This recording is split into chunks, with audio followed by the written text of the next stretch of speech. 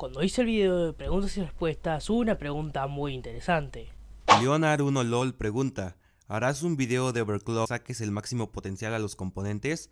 Haz el video por favor. El tema es que lo intenté, pero cuando fui a las prácticas resultó que mis placas madres y mis procesadores no se podían hacer overclock, así que me quedé con ganas, pero busqué alternativas. Así que hoy les voy a mostrar qué es el tape mod.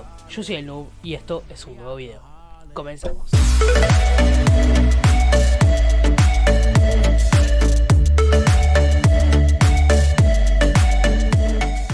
Tape Mod, como decía, es una forma de hacer overclock. De hecho, es la forma más ridícula y fácil de hacerlo. Aunque también tiene sus contras. Solo funcionan en algunos procesadores 775. Solo en Core 2 Duo de la serie E4000, que sería el E4300. Y Core 2 Quad de la serie 6000, que son los Q6600 y Q6700. Y encima se hacen de diferentes formas, así que lo explico. Se necesita cinta negra, la aislante de toda la vida, tijeras y un CPU. Cortando trocitos super diminutos de cinta y ahora tenemos que dar vuelta al procesador y mirarlo del lado de los pines. Y el secreto está en el lado derecho, desde la muesquita hacia arriba. Para los Coreos Duo E4300, desde el lado de la muesca contamos dos pines y ahí ponemos cinta.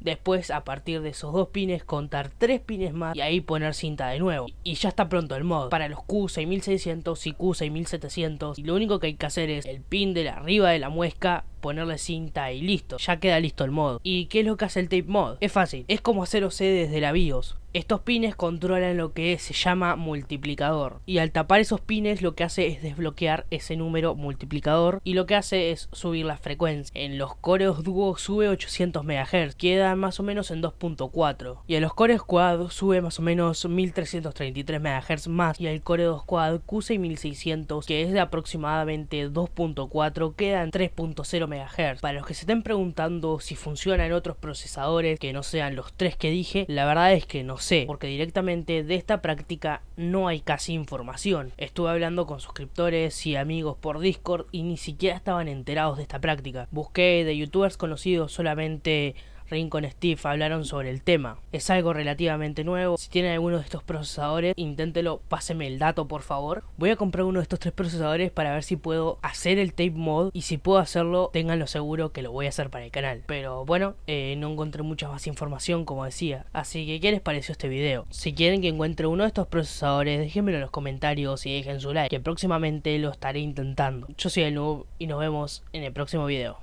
Chao.